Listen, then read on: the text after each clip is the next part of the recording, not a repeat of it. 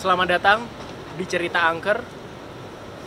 Kali ini kita mau keliling Yogyakarta, tapi aku nggak sendirian.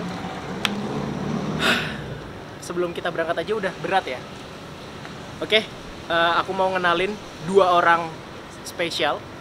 Yang pertama, masih inget sama cerita angker yang kemarin episode 1? Ada teman kita yang punya apa ya kemampuan khusus spesial kita panggil aja langsung. Ayo sini. Biasa. ada Dea. Masih ingat kan episode 1 dan kita juga nggak cuman berdua ya Dea? Iya. ada satu lagi guest star kita. Namanya Aji. Aji come forward. Jadi kita nanti bertiga akan jalan-jalan ke Jogja akan jalan-jalan Jogja Jo- eh, Jogja melintasi kawasan Jogja ya. Sorry aku agak nervous karena di samping mereka berdua tuh ya tahu sendiri lah Auranya ya. beda ya? auranya beda. Mungkin gak usah panjang lebar. Ayo kita ke mobil untuk langsung jalan. Oke? Yuk. Kan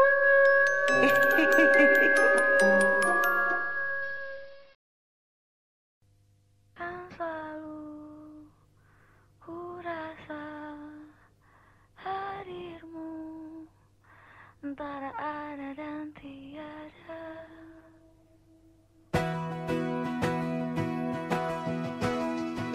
Emang kalau di kosan ada apa sih? di kosan beberapa kali sih aku pindah kontrakan dua kali nih kontrakan pertama tuh kalau ngerasa sendiri enggak lebih kerasa kayak pernah lihat gitu lihat ada yang dari garasi garasi itu kan garasi kayu tuh Hmm. dari garasi kayu tuh masuk masuk rumah tuh kayak ada kayak hitam gitu hitam bus gitu melewati pintu.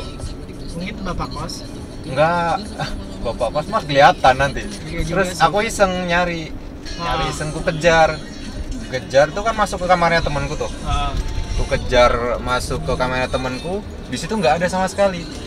Oh nggak ada apa-apa sama sekali terus di situ mulai hawanya mulai merinding. Dari teman-temanku merinding terus pada lari. Nakutin tuh waktu itu nah ternyata kan temanku suka ngoleksi nih deh. Hmm.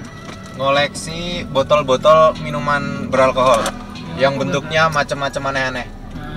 Tuh ada suatu ketika di malam tuh eh, botolnya tuh gerak sendiri dan geser. Itu padahal ada itu di atas di atas lemari. Oh, nggak iya. nggak ada nggak ada angin nggak ada kipas jauh. Hmm. selemarinya berdiri di pojok tuh nggak ada yang geser nggak ada kucing pun nggak ada. Dan itu botolnya geser sendiri. Rincing rincing rincing di- dikecilin tuh. iya kayak dikerjain. Tapi kalau kalau selama aku di situ sih belum pernah sih kena. Ya dapat cerita aja. Saya belum pernah sampai yang kelihatan gitu. ya itu tadi yang hitam masuk tadi itu bener-bener kelihatan jelas. Nggak tahu itu entah burung entah kelelawar. Pikirku itu kelelawar. Tapi terus aku cek aku lari ngecek nggak ada sama sekali kelelawar nggak ada hitam-hitam nggak ada ya udah di situ mulai pada parno tuh di situ. I see. kalau yang apa? kontrakan kedua nih waktu aku tidur dan itu pas nggak tahu nih duitnya temanku 500 ribu hilang ada tuyul. ada tuyul aku lagi tidur entah itu posisinya posisi antara aku aku setengah sadar dan aku yakin kalau itu aku sadar ada Oke. tuyul masuk ke kamar temenku dan itu kelihatan banget terus tak baca bacain ya bacain kepercayaan kepercayaanku terus tuyul itu tiba-tiba hilang. Oh iya. tapi selang beberapa hari temanku cerita kalau duitnya 500 ribu hilang. Dan ini kita seperti janji kita yang tadi ada ya mau jalan-jalan ke lewat ring road barat. Tapi kita pas di perjalanan ini ada sebuah apa ya istilahnya? Nah ini di sebelah sebelah kiri kita ada sebuah apa ya bangunan, Bangunan. gitu ya dia ya Yes. bisa dibilang bangunan mungkin udah tua juga ya Iya, tapi nggak terlalu tua sih. Hmm.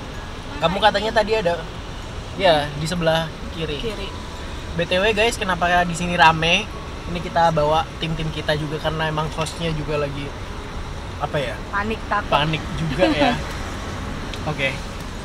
kalau tadi dia sendiri ada pengalaman apa sih di bangunan itu katanya ada pe- pengalaman yang apa gitu Iya waktu itu dia pernah makan sama teman-teman kontrakan kan. Hmm. Itu udah malam sih emang. Di atas jam 11 Hmm. makan di salah satu tempat makan di seberangnya. Terus pas balik kan harus putar balik tuh. Iya, jalannya. oh, benar-benar. Nah itu sekilas tuh lihat kayak ada aktivitas gitu. Jadi anak-anak kecil, eh, remaja-remaja gitu mereka tuh ngegerombol kayak melakukan sesuatu di lapangannya gitu. Oh, di lapangan itu di Mm-mm. situ. Di lapangannya. Tapi anak kecil semua nggak ada yang. Enggak, enggak ada yang gede sih. Tapi bentuknya manusia, maksudnya bukan kayak pocong gitu Wah, kan. benar, Jadi benar. kayak manusia gitu. Hmm. Kalau Aji sendiri itu nggak sih pernah lewat sini nggak Ji? Kalau pernah lewat sini pernah sih. Oh, gimana? Tapi mungkin nggak pakai mobil ya, lebih pakai sepeda motor ya. Jadi Tapi emang Ah. pengalaman dari yang pernah aku lewatin ring road Hmm. kalau lewat malam hari nih, yang paling bikin mungkin bikin merinding kali ya, Iya. kalau bisa dibilang nih. ah, ah. Ini emang ring road barat nih, daerah sini ini emang yang beda daripada ring road road lain lainnya lah kalau buat lewat. Karena kalau ring road lainnya kan masih banyak ini ya peradaban ya, masih banyak keramaian. Kalau di ring road barat nih jarang banget keramaiannya. Lebih banyak lawan kita truk. benar. Dan sering kejadian-kejadian kayak kelitih-kelitih gitu nggak sih di daerah sini tuh? Iya. Aku pernah lewat sini sih Ah. sama ibuku. Aku lupa deh bangunannya yang tadi atau yang di depan itu jadi ada bangunan dia belum jadi bangunan waktu itu. Hmm, hmm. Terus kita dari arah sana ke mau pulang habis itu eh, ibuku bilang coba tebak di bangunan itu ada apa gitu. Asik. Terus akhirnya ya udah kita kan emang biasa main tebak-tebakan. Ah, Terus tapi tebak-tebakannya yang Iya. aneh-aneh kan. Iya, betul. Ah. tapi terus habis itu ibuku bilang ya emang di situ banyak banget. Jadi itu kayak nggak tahu bangunan mau dibikin apa jadi berpetak-petak gitu loh. Oke. Yang ada jadi di petak paling bawah ada, di atas ada, itu bentuknya kuntilanak sih. Oh. Hmm, kuntilanak ada lebih kali dari 7, 10 mungkin. Dan itu yang ada warnanya itu nggak sih? Enggak sih, aku lihatnya putih Tapi semua. yang waktu putih itu. semua. Iya. Tapi bener kan ya ada warna juga itu ada. Ada ada kan? ada loh di Jogja. Oh iya. Di Janti atau Jombor ya lupa. Oh, wow. Pokoknya atas atas stasiun. Atas stasiun. atas stasiun. Kalau kamu Ji gimana Ji? Pernah kayak gitu juga? Kalau Ring road gitu tuh terus. pengalaman lihat di ring road sih belum pernah ya Ah. sepengalaman ini mungkin alhamdulillah juga belum pernah tapi kalau ngerasain ya paling kerasa di sini Dari sini ya? ya naik motor sendiri pernah aku jam 12 di sini naik motor sendiri awalnya tuh biasa aja terus Ah. lama-lama kok jalan tuh kayak ada lampunya nih Wah. tapi kelihatan mulai semakin redup semakin redup tuh Oh. ya aku pikir oh, mungkin ini rusak kali ya atau gimana ya. Terus ternyata setelah dapat cerita-cerita emang di sini beda daripada ring road yang lainnya Itu lain ya. ya Pernah denger nggak sih cerita nih yang di daerah Ring Road? Nanti sih di kawasan mungkin arah apa ya? Di daerah Ring Road Barat tapi sambungan dari itu loh apa? Selokan Mataram yang cerita tentang genderuwo atau kuntilanak juga nggak sih yang biasanya mereka sering sering banget nampakin diri di atas pohon gitu kadang mereka Saya sebentar ini di jembatan pinggir oh juga. iya banyak gimana Ada sih. ada ya ya ada apa dia Tadi. Apa? ada apa Ada Mbak Mbak. nangis atau Enggak enggak enggak. Dia kayak mau loncat. Oh, Iya. Aduh aku merinding. Iya. Tadi Mbak Maya kayak mau loncat ke bawah sih. Oh iya, Oh iya. Kalian juga ngerasain guys. sampai titik itu nih. Iya, juga tadi jembatan tuh emang banyak ya mbak ya? Iya mungkin ada beberapa yang pernah bunuh diri mungkin atau Oh, I see. apa gitu Atau kan larinya bisa- pasti ke jembatan. atau kita bisa coba sana cari putaran terus kita balik lagi ke jembatan itu Oh, I see, I see. oke ya boleh boleh Boleh. Wow. Berani nggak ya? Didatengin, Hah? Ya berani. insya Allah. Challenge untuk mbak Dea. Oke. Nah, teman-teman kita mau coba ke jembatan tadi. Sebelum aku nanti ceritain eh, ada cerita sedikit sih tentang apa daerah tadi selokan Mataram yang di Ring Road Barat itu. Tadi dia lihat apa pas di Eh, mbak Mbak, dia perempuan. dia jadi dia mau loncat gitu. Oke. tadi. Mbak-mbak dalam bentuk biasa atau gimana? Eh, iya pakai baju biasa. Oh. Maksudnya pakai baju layaknya manusia Ah, ah, bukan ah. kayak kuntilanak yang putih semua. Ah, betul betul. Tapi kamu ngeliat wajahnya nggak? Enggak, kan dia belakang, uh, ada sana. Oh, ada sana. Belakangnya. Nah, ini kita coba lewat lagi nih. Oke, oke, oke. oke jembatannya itu emang agak lebih tinggi karena di bawahnya buat eh, lintasan kereta api. Oh gitu. Ya betul. Aku tahu sih. Nah, hmm. jembatan ini emang lebih tinggi.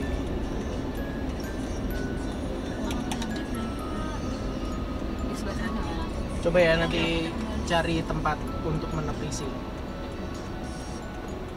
Setelah jembatan mungkin kita bisa menepi. Ini sama aja ya? Gimana? Ada. enggak tadi di sana sih Sekarang ada di sini. enggak Ini masih nggak di sana. Sebelah kanan. Masih ada. masih Mana? Itu. bukan sini. Ini nih. ini udah deket tiang nih Ah. Ini di situ Cuma satu doang nggak ada yang iya satu nggak tahu di bawahnya Nah, sih, iya benar. di atas satu Satu ya. kamu nggak merinding lah situ tadi Belum sih, belum. Kalau aku merinding deh. ngerasa ya Pas di tiang tadi baru iya merinding. betul Kalau sebelum naik tadi belum. Mm-mm. Pas di tiang tadi langsung Karena mungkin aku tadi fokus mau cerita kali terus nggak ada tempat fokus kita. ada yang lewat tadi hitam jalan di dekat angkringan Aja nanya aja nggak Seberang ya. Dia Iya. dia, Hmm. dia. tadi kamu juga ngerasa Iya. Waktu kamu bilang tadi dus Jangan-jangan kalian berdua ini sama-sama bisa melihat. enggak enggak, aku nggak bisa Nah, kalau melihat. Aji, kamu emang bisanya apa? Aku bisanya menaklukkan hatimu. Kamu tahu nggak? Aku sudah menduga jawaban ya Allah Nah, kita lewat jembatan yang tadi nih, yang bawah jembatannya ini jalan kereta api. Nah, ini masuk masih masuk di Ring Road Barat ya. Ah, Terus tadi waktu kita muter tuh iya nggak deh, ada Iya, yang dari sini ya Iya, ada di dari sini, persis. Nih, di sini banget Ya, ada yang nyebrang ya, hitam Mm, ya. hitam. Kayak jalan tapi nyebrang, Iya, bukan melayang ya. Dia jalan tap tap Tapi jembatan kan? Ya, benar. Mm-mm. berarti ngumpul. Eh, rada nye- rada nyorong jalannya. Ah, ah, Oh. benar banget agak miring gitu Agak tapi miring. ke arah sini Jadi nggak lurus Ya, gitu kan? Enggak, enggak. hitam Terus apa dia yang kamu lihat tadi di sini? itu eh, perempuan tadi di dekat tiang nah itu di sebelah sini nih nah ya di sini dia itu kayaknya umurnya masih belasan deh mungkin Hmm. 18 atau 19an nih di Hmm. sini banget Hai terus habis itu rambutnya diikat belakang tapi berantakan gitu loh Ikat satu Diikat- atau dua? satu ikat satu, Satu, tapi satu. berantakan banget cepolan gitu Oh. dia tadi agak noleh sedikit mukanya Hmm. cantik sih maksudnya nggak ada nggak ada busuk atau luka apa Hmm, enggak hmm, cuman pucat aja ya mungkin dia depresi kali ya atau gimana nggak tahu dan dia emang mau loncat posisinya sampai Ah. sekarang kita lewat untuk yang ketiga kalinya ngeliat juga posisinya masih sama Masih sama ya. Kakinya satu di atas ya. kakinya satu di atas Iya, udah mau benar terjun banget. iya jadi dia tadi noleh sedikit gini gitu Hmm. terus senyum Mungkin mungkin dia kerasa juga kali. dia ngerasa ngobrol. iya Ngerasa, nggak tahu ah, mungkin benar-benar. Hmm. Tapi mudah-mudahan gak ikutan kita nih. enggak enggak sih Ya semoga, sih aja ya. Tapi cukup merinding sih tadi Benar. senyumnya Iya juga ya. senyumnya serem maksudnya dia tuh kayak minta tolong tapi ya dia juga udah depresi banget tapi dia mau loncat kayaknya dia meninggalnya karena loncat juga Mungkin. sih Dan bawahnya kan tadi juga ada Rel rel kereta kereta ya, api ya. benar. Siapa tahu mungkin ya Siapa praduga tahu- kita oh, sih. oh, oh, benar ya bukan di rel kereta api biasanya kan banyak makhluk juga Oh. mungkin juga dorongan dari situ kali bisa kan kayak nyuruh dia buat terjun ayo udah turun aja bunuh diri aja gitu kan juga bisa benar benar. Nah, kita kan lagi jalan-jalan di daerah Ring Road gini-gini kan.